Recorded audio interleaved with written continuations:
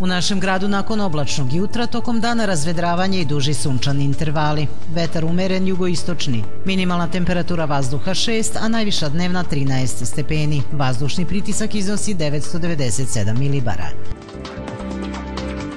Sutra nas očekuje promenljivo oblačno vreme sa povremenim sunčanim intervalima. Kiše će biti u večernjim časovima. Duvaće umeren jugoistočni vetar.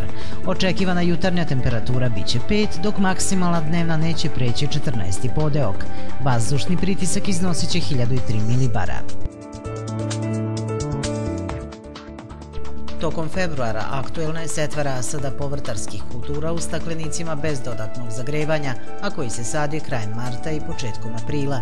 Vremenski uslovi pogoduju usevima žitarica na otvorenom polju, a njihov kvalitet zavisiće i od toga da li su posajane u optimalnom vremenskom roku.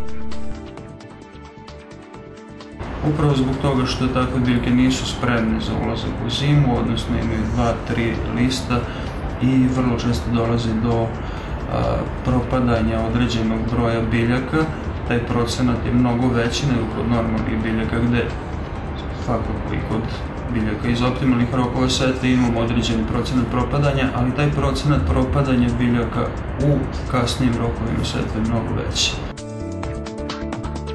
Utorak nas očekuje promenljivo oblačno vreme uz povremene sunčane periode i kišu koja bi mogla pasti u kasnim večernjim časovima.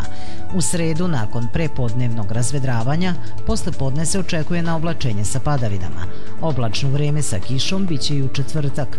U petak nas, nakon tmurnog prepodneva, posle podne očekuje razvedravanje uz kratkotrajne sunčane intervale. U subotu će biti oblačno vreme, ali bez padavina. Najhladniji dan u narednih pet dana biće četvrtak sa maksimalnih 7 stepeni, a najtopliji utorak kada će živa u termometru dostići 14. podeok.